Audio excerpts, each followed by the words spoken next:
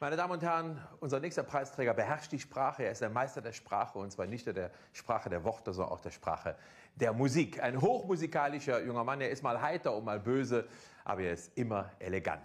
Der Förderpreis der Stadt Mainz zum Deutschen Kleinkunstpreis 2015 geht an Martin Zingsheim.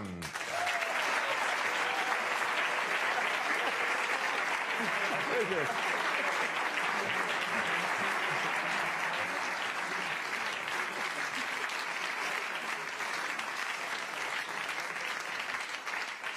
Ganz herzlichen Dank. Äh, vielen Dank. Ich denke, ich bekomme diesen wunderbaren Preis vor allem für ein ganz bestimmtes Lied. Das möchte ich Ihnen jetzt auch nicht vorenthalten. Das kann schon sagen, ist so ein bisschen mein musikalisches Hauptwerk. Das Lied hat einen Titel und der lautet Auch der Kunstmarkt ist ein Markt wie jeder andere, beziehungsweise Kritik an zeitgenössischer Artificialität in vier Sekunden.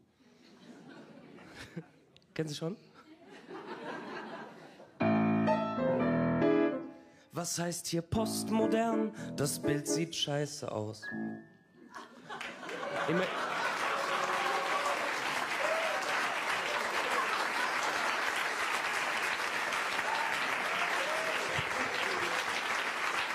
äh, ja. Das war es eigentlich von mir, aber ähm, gut, man, man merkt sofort, Sprache ist kompliziert. Hm? In Deutschland eh immer. In Deutschland steht auch immer jemand an der Kaffeebude vor einem und sagt sowas wie, ich hätte gern zwei Expressis. Was, ja, was ist das denn? Deutscher Espressionismus? Ich weiß nicht. Also, letztens in Köln, äh, war ein Typ in Köln, er wollte eine Frau ansprechen und er sagt, ey Perle, sagt sie, ey Muschel, Klappe zu. Also man muss halt auch, ähm, muss auch aufpassen. Das, gehe letztens am Kindergarten vorbei. Ich gehe am Kindergarten vorbei, plötzlich äh, spricht mich, ich gehe am Zaun, äh, plötzlich spricht mich eine Stimme durch den Elektrozaun, spricht mich eine Stimme an und, und sagt wortwörtlich, eh, eh, hallo du Kackmann. Und ich dachte, toll, hier muss ich mein Kind nicht anmelden, ne?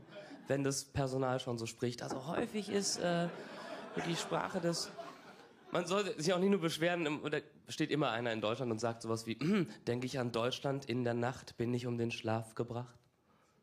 Kann man ja auch positiv formulieren. Kann man sagen, Deutschland, komm, tagsüber geht's. Ja, merken Sie auch, das ist so ein bisschen andere, andere Begeisterung. Sprache kann auch eine Lösung sein.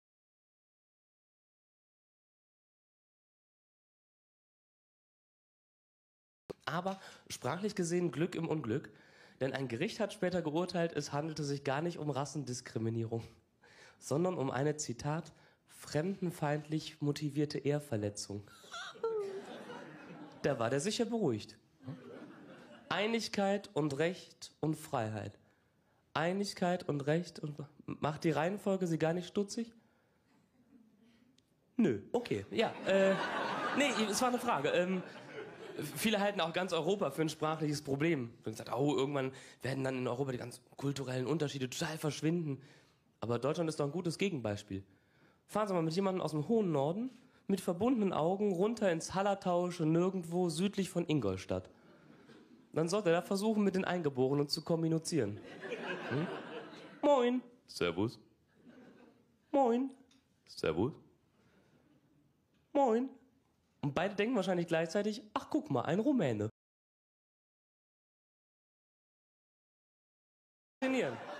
Und man sollte auch nicht kulturpessimistisch sein. Ein Blick auf die Statistik äh, hilft da auch. In Deutschland gehen tatsächlich jede Woche mehr Menschen in ein Museum als in ein Fußballstadion. Alle so, ich war es nicht. Ja. Okay. Ja.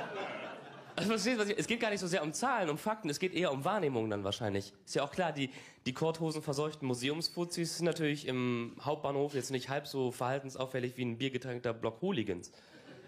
Das könnte man auch mal ändern. Die Trantüten mit den impressionistischen Ausstellungskatalogen, die könnten mal ein bisschen Stimmung machen. Schon wenn die ankommen am Bahnhof. Die brauchen auch so einen promovierten Einheizer.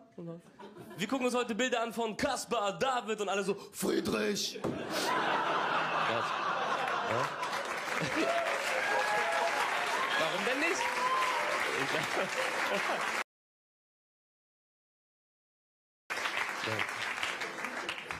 Die Venus von Botticelli.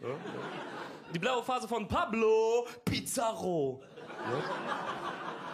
Und dann eskortiert von zwei Hundertschaften gehen die ab ins Wallraf-Richards-Museum. Allerdings, wir stecken dann natürlich auch die ganzen arbeitslosen Geisteswissenschaftler als Radiokommentatoren ins Stadion. Herzlich willkommen, liebe Zuhörer und Zuhörer, liebe Männer, liebe Frauen, liebe Transsexuelle, liebe Transgender, Genderbänder und Genderbänderinnen. Hier schon zu Beginn ein Doppelpass zwischen Hummels und Reus, ein Pass, durch dessen Verkörperung einer transpersonalen Geworfenheit die Existenzkrise des Subjekts, also die topologische Tautologie postmoderner Referenzialität als performativ mimetische Hybris diskursimmanent vergegenwärtigt wird. Spiel gelaufen nach einem Satz, hm? aber zeitgleich in der Van, der Vaart, äh, Van Gogh Ausstellung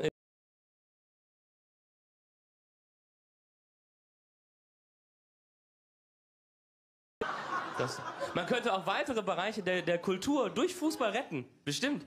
Äh, auch Religion. Die Christen könnten auch ein bisschen mehr Stimmung äh, vertragen. Man ließe dann auch die, die Gottesdienste zukünftig von emeritierten Stadionsprechern leiten. Wir sind ja alle zusammengekommen und beten zu Jesus und alle so, Christus! Und durch wessen Schuld? Durch meine Schuld, durch meine Schuld, durch meine große Schuld. Und das, ich glaube, einige probieren es nächste Woche aus, wenn ich hier. Äh, Alex, wir setzen dann natürlich auch dann die ganzen Priester, Kapläne und Weihbischöfe auch äh, ans Stadionmikrofon. Das wird auch. Wir sind ja alle in seinem Namen versammelt, um nur seinen Erbarmen im Abstiegskampf anzurufen. Cristiano und alle so Ronaldo. Ich glaube schon, aber dass das durchaus interessant werden könnte. Ne? Kultur ist ja eigentlich alles.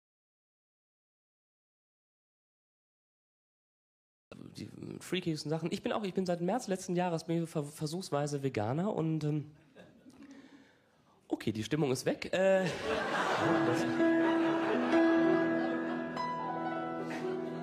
ich gehe jetzt noch einen Schritt weiter. Seit kurzem, äh, seit einem halben Jahr haben wir einen äh, eigenen Garten. Früher dachte ich auch, das ist ein bisschen spießig. Rasenmähen, Sträucher stutzen, Fahnenmast vom Nachbarn ansägen, aber in mir hat unser Garten noch was ganz anderes ausgelöst, nämlich so eine, so eine anarchistische Agitation. Theoretisch, theoretisch, ich könnte jetzt alles selber machen. Ich wäre dann unabhängig von Industrie und Wirtschaft. Ich nenne die dann auch nur die Verbrecher. Ich sehe mich schon in meinen kühnsten Träumen, sehe ich mich auf meinen 40 Hektoliter Land stehen. Und dann, dann rufe ich jeden Morgen vom Balkon runter, die können mich alle mal. Ich pflanze meine Kartoffeln jetzt selber an. Und zwar fünf, mm, lecker. Wenn mich tatsächlich Hunger plagt, muss ich halt doch mal in den Supermarkt. Wie peinlich, mm. Für mich als Selbstversorger, ich pflanze Radieschen in Form von einem Mandala. Und sogar Kerbel, mm. Keine Ahnung, was das ist. Doch ich schaff das alles schon auf meinem Balkon. Mm. Selbstversorger. Ich hab heimlich nachts im Stadtwald nen Quittenbaum gepflanzt, Juchi. In vier Jahren komm ich ernten, koch die ganze Scheiße ein, zwei Gläser Quittengelee. Ich bin Selbstversorger und die können mich alle mal, die ganze Nahrungsindustrie und ihre Helfershelfer. Auf der Dachterrasse mein Basmati-Feld, vergiften kann ich mir auch selber. Und tatsächlich, das geht voll flott. Aus Erdbeeren wird Kompott.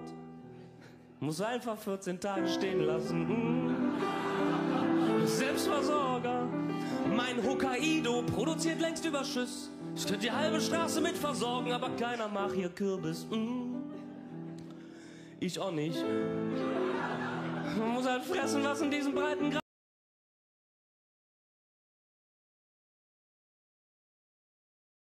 Soll mich nicht stören. Hm kann man so viel Gutes draus machen. Zum Beispiel dieses fiese Möhrengemüse.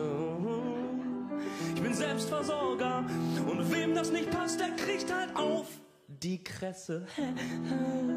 Ich bin Selbstversorger. Nachts, wenn alle schlafen, back ich Brot aus Dinkel und aus Hirsebrötchen. Aber niemals helle Weiße, denn die von Kamps und Backwerk können mich mal. Mein Vollkornbrot schmeckt eins zu eins für wahr. Genauso scheiße. Dankeschön.